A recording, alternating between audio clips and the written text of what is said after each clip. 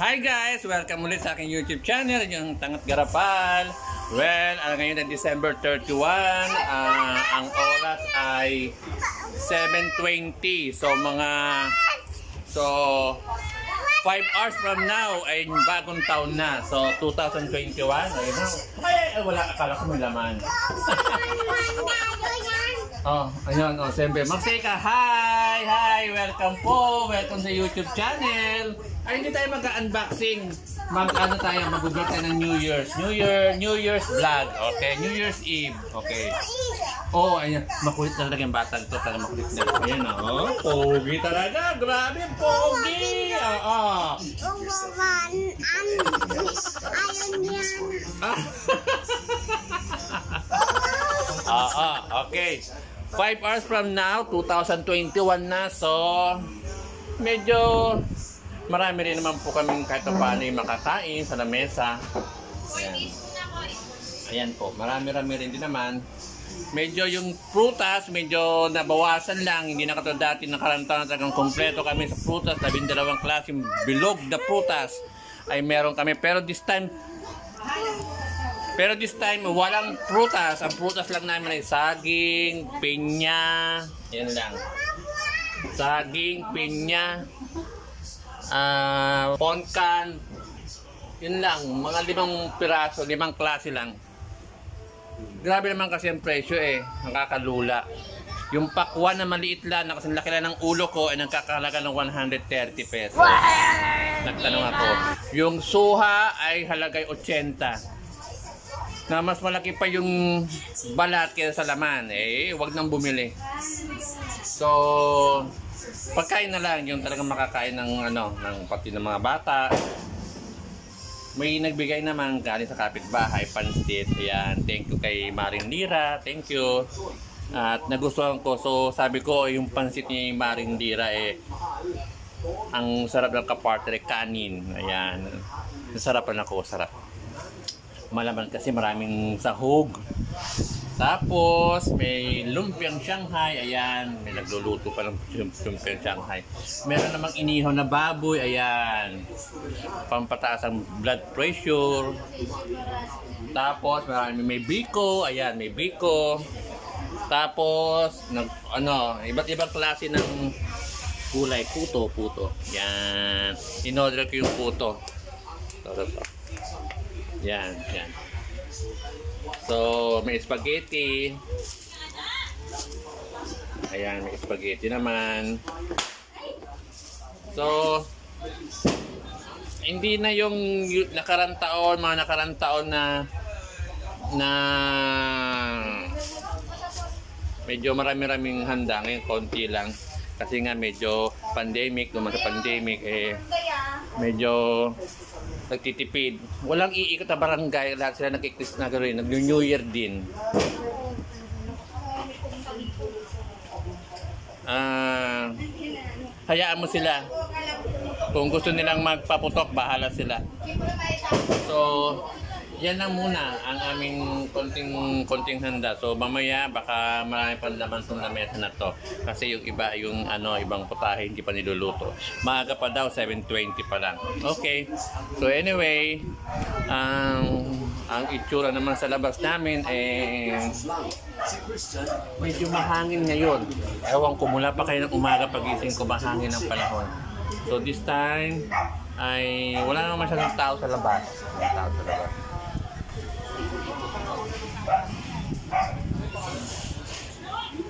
Wala. Walang nagpaputok, wala. wala.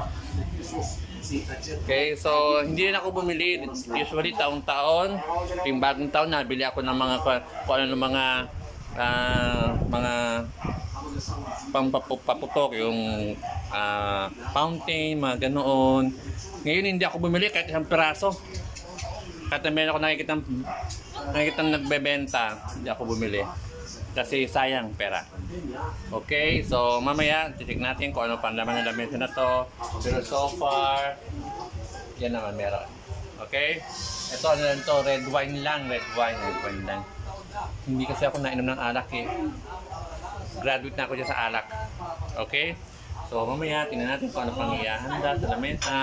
countdown tayo, countdown. Ah, December 31, alas 8 ng gabi. So 8, 9, 10, 11, 12, 4 hours para maging 2021 na. So, ayan. Medyo maganda na yung nakahain sa lamesa.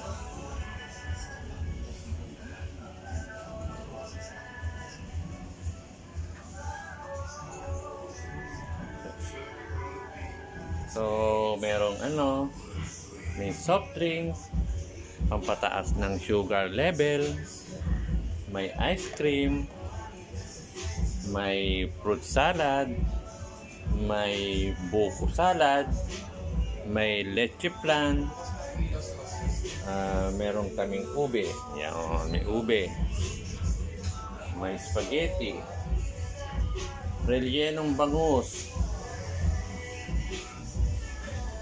inihaw na baboy, lumpiang Shanghai, tapos, ah, tawag to, ah, ano ba tawag dito? Ah, Graham, yun. Graham, puto. Kunting prutas. At saka hindi nawawala sa lamesa. Bigas talaga ng itlog, tapos may mga coins. Yun, ganun. Ayan siya. Yan ang aming munting handa. Yan.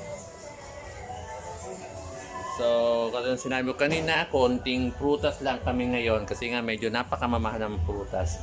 Inaangan ko yung prutas. Doon ako nabigla sa pakwan, 130 pesos kasi laki lang ng ulo ko. At saka yung suha na ah, suha ng 80 pesos. Sa kapag binalatan mo yung suha, ay konti ng laman. So, yan lang, yan lang laman. Okay, so mamaya pagdating ng mga pagdating ng alas bago mag alas 12 i-video ko yung kaganapan sa labas. Pero so far, tahimik. Tahimik sa labas. Tahimik talaga. Tahimik. Say hi! Hi! Ah. ah, kain tayo o kain daw tayo. Anong kasasabihin mo? Sabi mo, kain tayo. Oh, Happy New Year, no? Ah. Oo. So yun, medyo tahimik. Walang masyadong ingay sa paligid. Hindi siya katulad ng nakarang taon na ano. Hindi siya katulad ng nakarang taon na medyo maingay. Ngayon tahimik. Walang masyadong paputok. Okay, kasi pinagbawal dito sa sa Pilipinas yung paputok. Okay? Ah, may advantage naman yun, pag- yung pagbabawal ng paputok, advantage naman noon. Eh, siyempre, makakaiwas sa mga sakuna, may maiwasan yung mga yung alikabok, yung pollution, maiwasan yon. May advantage yon. So, siguro it's about time na mabago ng tradisyon na kailangan paputok. Pwede ka naman mag-ingay na wala namang kailangan paputok. Pwedeng kaldero, pwedeng coins, lagi sa bulsa. So maraming choice. Maganda naman yung pinagbabawal ni Presidente Duterte yung mga paputok na yan. Okay yan, approve yan sa akin. Okay yan. Ah... yung gatherings eh bagay kasi may COVID kaya medyo pinagbabawal pa rin yung mga gather gatherings yung mga ah, maraming sama-samang kainan. So siguro next year na lang tayo babawi okay? So mamaya ah, pagdating ng mga bago mag alas 12 iba-vlog ko naman kung titingnan natin kung talagang walang paputok. Yun di ba? Mamaya tignan natin yan. Okay? Yan hi guys. Okay. Malapit na ah, mga mag mag January 1 na. Ah, mga 5 minutes na lang. So sorry ba ang gising ako eh.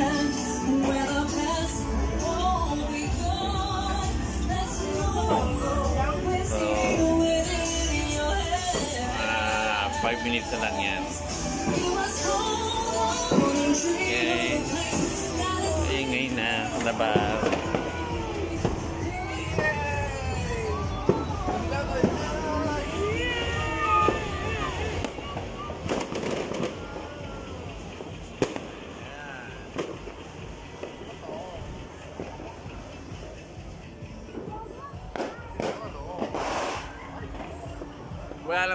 Happy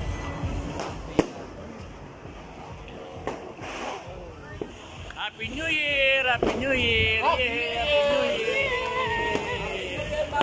Happy New Year! Year! Happy New Year! Yeah. Year tayo. Happy New Year! Happy New Year! Happy New Year!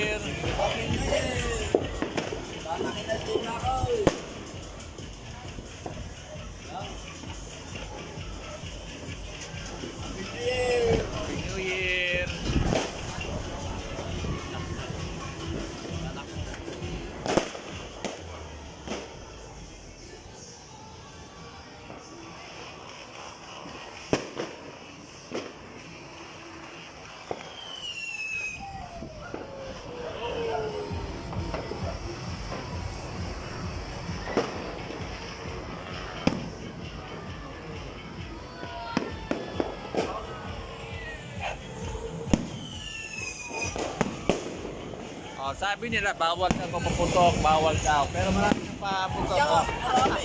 Sa, sa radyo, marami. Oh, marami nga, marami.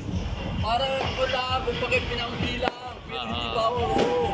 Hindi yung tudo. Yung may nakalaglat ko. Ayun lamig sa labas. Nakahuli.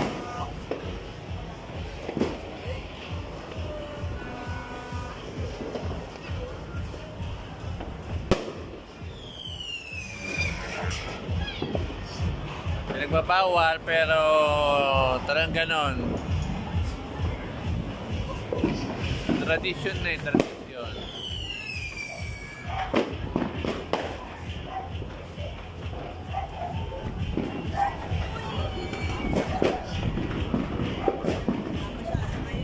Wala, wala masyado. Ako nga, wala eh. Bawal.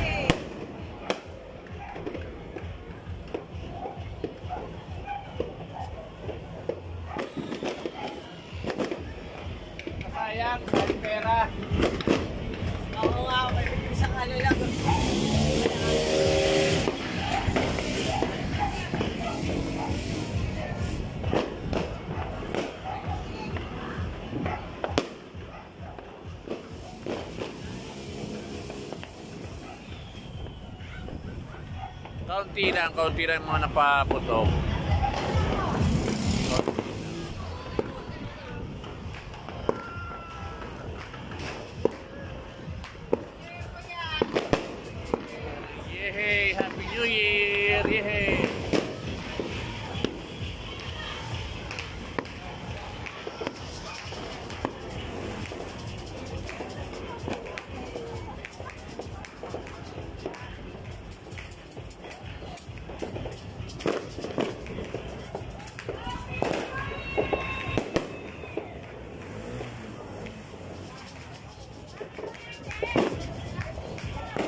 Happy New Year!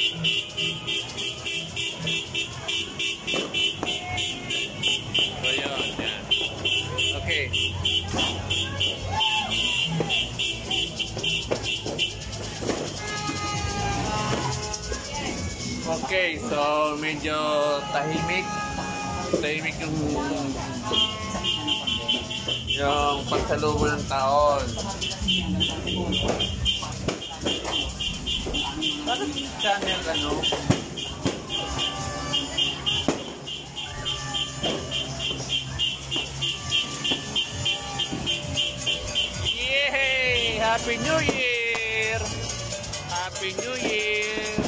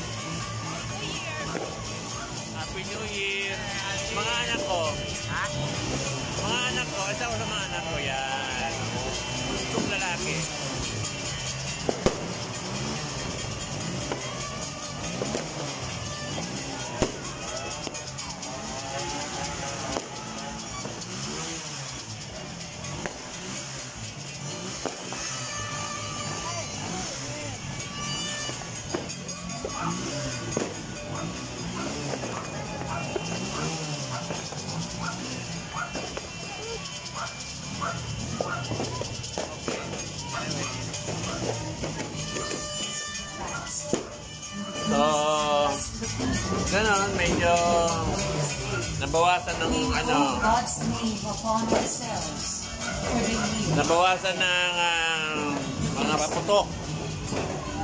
Medyo hindi nang maputok. So, Happy New Year to all sa lahat ng mga ating mga sa aking mga subscribers. Maraming maraming salamat po. Ah, so far, 5,400 subscribers na po tayo ngayon. Sana itong year 2021 ay mas marami pang subscribers. So, hopefully, may awang Panginoong Diyos, eh, tayo ay itong pandemic na naranasan natin ay sana ay mawala na, matapos na.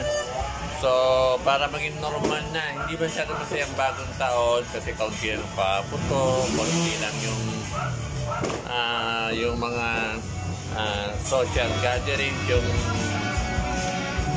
yan, yung palakasan ng radyo, ng stereo. So, pero masaya po ako to 2020 kasi eto, nasa YouTube na tayo, may channel na, and then maganda naman po ang naging outcome. So, Happy New Year po, year 2021, much better, mas maraming subscriber, mas magaganda mga vlog, at saka mga ah, ah, gusto ko lang ng happy. Ayoko ng sad. Alam mo, ayoko yung, yung malungkot. Masaya lang. Okay? Maraming maraming salamat po muli. Bye! See you on my next vlog. Sa mga hindi pa nakakasubscribe sa aking channel, sana po mapasensya niyo po ang aking itsura. Kasi na po ako matanda na po ako. Okay? Thank you so much ulit. Bye!